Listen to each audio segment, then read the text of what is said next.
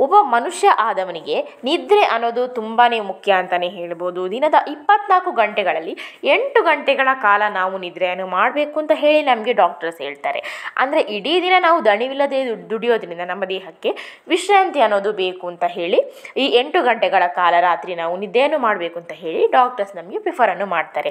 ಹಾಗಾಗಿ ಯಾವುದೇ ಕಾರಣಕ್ಕೂ ಕೂಡ ರಾತ್ರಿ ನೀವು ನಿದ್ದೆಯನ್ನು ಸ್ಕಿಪ್ ಮಾಡಲಿಕ್ಕೆ ಹೋಗ್ಬೇಡಿ. ಅಂದರೆ ನೀವು ಯಾವ, ಆ ವಿಚಾರದಲ್ಲಿ ನೀವು ಕಾಂಪ್ರಮೈಸನ್ನು ಮಾಡಲಿಕ್ಕೆ ಹೋಗಲೇಬಾರ್ದು. ಯಾಕಂತ ಹೇಳಿದರೆ ನಿದ್ರಾಹೀನತೆ ಸಮಸ್ಯೆಯನ್ನು ನಾವು, ನಮಗೆ ನಾವೇ ತಂದುಕೊಳ್ಬಾರ್ದು. ರಾತ್ರಿಯ ಸಮಯದಲ್ಲಿ ನಿಮಗೆ ನಿದ್ದೆ ಚೆನ್ನಾಗಿ ಬರಬೇಕಾದ್ರೆ ಅಂದರೆ ಕೆಲವೊಂದು ಟಿಪ್ಸ್ಗಳನ್ನು ನಾವು ಇವತ್ತು ಈ ವಿಡಿಯೋದಲ್ಲಿ ನಿಮಗೆ ತಿಳಿಸ್ಕೊಡ್ತಾ ಇದ್ದೀವಿ. ಆ ಟಿಪ್ಸ್ಗಳು ಯಾವುದಂತ ಹೇಳಿ ನೋಡ್ಕೊಂಡು ಬರೋಣ, ಬನ್ನಿ. ಇತ್ತೀಚಿನ ಜನರಲ್ಲಿ ಹೇಗಾಗಿದೆ ಅಂತ ಹೇಳಿದರೆ, ರಾತ್ರಿ ಹತ್ತರ ನಂತರ ಕೂಡ ಊಟ ಮಾಡುವ ಅಭ್ಯಾಸವನ್ನು ಕೆಲವರು ಇಟ್ಕೊಂಡಿರ್ತಾರೆ.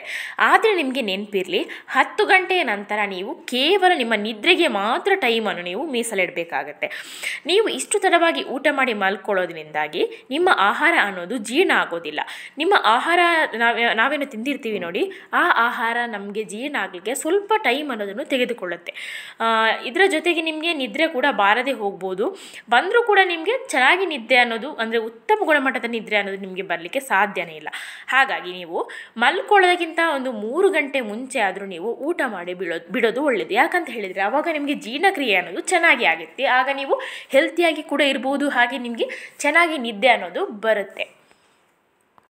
ಅಂದರೆ ಬೆಳಗ್ಗಿನಿಂದ ನಾವು ಏನು ಪ್ರಪಂಚದ ಗುಂಗಿನಲ್ಲಿ ನಾವಿರ್ತೀವಿ. ಅಂದರೆ ನಮ್ಮ ನಾವು ಬ್ಯುಸಿಯಾಗಿರ್ತೀವಿ ನಮ್ಮನ್ನು ನಾವು ನಮ್ಮ ಕೆಲಸದಲ್ಲೇ ತೊಡಗಿಸ್ಕೊಂಡಿರ್ತೀವಿ. ಹಾಗೆ ನಮ್ಮ ಮನಸ್ಸಿಗೆ ನೆಮ್ಮದಿಯನ್ನು ನಾವು ಕಂಡುಕೊಳ್ಳಿಕ್ಕೆ ನಾವು ನಮ್ಮ ಮನೆಯಲ್ಲಿ, ಅಂದರೆ ನಮ್ಮ ಫ್ಯಾಮಿಲಿ ಜೊತೆ ಆರಾಮವಾಗಿ ಟೈಮನ್ನು ಸ್ಪೆಂಡ್ ಮಾಡೋದು ತುಂಬಾ ಒಳ್ಳೆಯದು ಅಂದರೆ ನಿಮ್ಮ ನಿದ್ರೆಯ ಸಮಯ ಆಗಿರ್ಬೋದು. ಹಾಗಾಗಿ ರಾತ್ರಿ ನಿದ್ರೆ ಮಾಡುವಾಗ, ನಿಮ್ಮ ನಿದ್ರೆಯನ್ನು ಹಾಳು ಮಾಡುವಂತಹ ಅಂದರೆ ಮೊಬೈಲ್ ಆಗಿರ್ಬೋದು ಲ್ಯಾಪ್ಟಾಪ್ ಕಂಪ್ಯೂಟರ್ ಇಂತಹ ಯಾವುದೇ ಎಲೆಕ್ಟ್ರಾನಿಕ್ ಉಪ, ಉಪಕರಣಗಳನ್ನು ನೀವು ಯೂಸ್ ಮಾಡಬಾರ್ದು.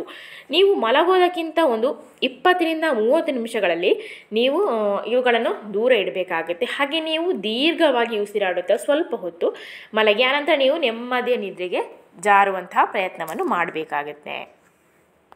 ಕೆಲವರು ಏನು ಮಾಡ್ತಾರೆ ಅಂದರೆ ರಾತ್ರಿ ಹೊತ್ತು ಲೈಟ್ ಆಫ್ ಮಾಡು ಅಂತ ಹೇಳ್ತಾರೆ. ನನಗೆ ನಿದ್ರೆ ಬರೋದಿಲ್ಲ ಅಂತ ಹೇಳ್ತಾರೆ ಕೆಲವರು. ಇನ್ನು ಕೆಲವರು ಏನು ಹೇಳ್ತಾರೆ ಅಂದರೆ ಲೈಟ್ ಆರಿಸಿರೇನೆ ಅವರಿಗೆ ಭಯ ಆಗುತ್ತೆ. ಹಾಗಾಗಿ ಅವರು ಲೈಟನ್ನು ಆಫ್ ಮಾಡಬೇಡಿ ಅಂತ ಹೇಳ್ತಾರೆ. ಹಾಗೆ ಸಣ್ಣದಾದ ಒಂದು ಲೈಟ್ ಇದ್ದರೆ ಒಳ್ಳೇದಿತ್ತು ಅಂತ ಅಂದ್ಕೊಳ್ಳೋರು ಇರ್ತಾರೆ.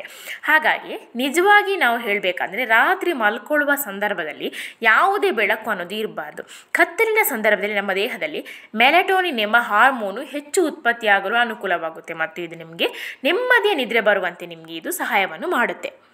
ನೆಕ್ಸ್ಟ್ ಒನ್ ಬಂದುಬಿಟ್ಟು ಅಂದರೆ ಸಂಜೆ ಐದರ ನಂತರ ನೀವು ಕಾಫಿ ಟೀಯನ್ನು ನೀವು ಆದಷ್ಟು ಅವಾಯ್ಡ್ ಮಾಡಿ ಅಂತಲೇ ಹೇಳ್ತೀನಿ. ಕೆಫೆನ್ ಅಂಶ ಯಾರಿಗೆ ದೇಹಕ್ಕೆ ಹೆಚ್ಚಾಗಿ ನೀವು ಅಂದರೆ ಅದನ್ನು ಸೇವಿಸ್ತೀರಿ ನೀವು ಅದನ್ನು, ಅವರಿಗೆ ನಿದ್ರಾಹೀನತೆ ಅನ್ನೋದು ಕಟ್ಟಿಟ್ಟ ಬುತ್ತಿ ಅಂತಲೇ ಹೇಳ್ಬೋದು. ಇದರ ಜೊತೆಗೆ ಮಲಬದ್ಧತೆ ಸಮಸ್ಯೆ ಕೂಡ ನಿಮಗೆ ಇರುತ್ತೆ. ಹಾಗಾಗಿ ಕಾಫಿ ಅಥವಾ ಚಹಾ ಕುಡಿಯೋದೇ ಕುಡಿಯೋದಿದ್ರೆ ನೀವು ಒಂದು ಸಂಜೆ ನಾಲ್ಕರಿಂದ ಐದು ಗಂಟೆಗಿಂತ ಮುಂಚಿತವಾಗಿ ಕುಡಿದು ಬಿಡೋದು ಒಳ್ಳೆಯದು ಆನಂತರ ನೀವು ಗಿಡಮೂಲಿಕೆಗಳ ಚಹಾ ಅನ್ನೋದು ಸಿಗುತ್ತೆ. ಅದನ್ನು ಬೇಕಾದರೆ ನೀವು ಕುಡಿಬಹುದು. ನಾವು ನಿದ್ರೆ ಮಾಡಲಿಕ್ಕೆ ನಾವು ಎಂತಹ ಹಾಸಿಗೆಯನ್ನು ಆಯ್ದುಕೊಳ್ಬೇಕು ನಿಮಗೆ ಗೊತ್ತಾ? ತುಂಬ ಮೆತ್ತಗೂ ಇರಬಾರ್ದು, ತುಂಬ ಗಟ್ಟಿ ಕೂಡ ಇರಬಾರ್ದು. ಹೀಗಿದ್ರೆ ಮಾತ್ರ ನಮಗೆ ಒಳ್ಳೆಯ ನಿದ್ರೆ ಅನ್ನೋದು ಬರುತ್ತೆ. ಇವಾಗ ತಲೆದಿಮ್ಮಿನ ವಿಚಾರಕ್ಕೆ ಬರೋದಾದರೆ ನೀವು ತುಂಬ ಎತ್ತರದ ತಲೆದಿಮ್ಮನ್ನು ನೀವು ಬಳಸಲಿಕ್ಕೆ ಹೋಗಬೇಡಿ.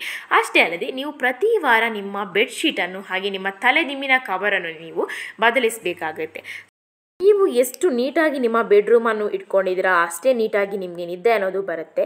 ಹಾಗೆ, ಈ ವಿಡಿಯೋ ನಿಮಗೆ ಇಷ್ಟ ಆಗಿದ್ರೆ ಈ ವಿಡಿಯೋಗೊಂದು ಲೈಕ್ ಕೊಡಿ ಶೇರ್ ಮಾಡಿ, ಹಾಗೆ ನಮ್ಮ ಚಾನಲ್ ಸಬ್ಸ್ಕ್ರೈಬ್ ಮಾಡೋದನ್ನು ಮರಿಬೇಡಿ. ಸಿಗೋಣ ಫ್ರೆಂಡ್ಸ್ ಮುಂದಿನ ವಿಡಿಯೋದಲ್ಲಿ ಅಲ್ಲಿ ತನಕ ಬಾಯ್ ಟೇಕ್ ಕೇರ್